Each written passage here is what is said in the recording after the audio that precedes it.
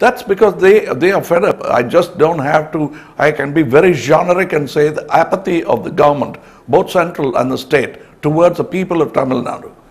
And that's wrong. And basic, the, the uh, what we call in Tamil Aadhaar requirements, not the Aadhaar card, the basic requirements of Tamil Nadu have been neglected.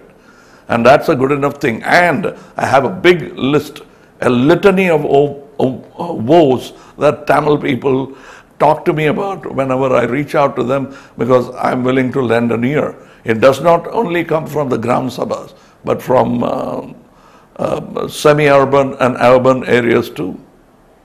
This is my country. I must have a role to play. That's the reason why we are participating in the Lok Sabha elections. And we must. I still think that this country was stitched together for a reason and should stay that way. I truly believe in that. And the common accusal that uh, uh, the Tamilians are a breed apart and they won't mix with the national flow is, is uh, a charge we won't accept. Because uh, I always have a quip. Uh, you show me Annadurai or Kamraj in Calcutta or Punjab, but I'll show you Gandhi, Jawaharlal Nehru, Subhash Chandra Bose, you name it, all the north, uh, people from North who they haven't even met have become their heroes, and we still name our children after them.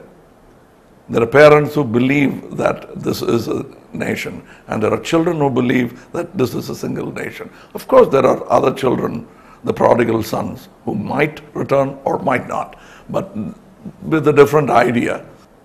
I, am a man who respects lateral thinking.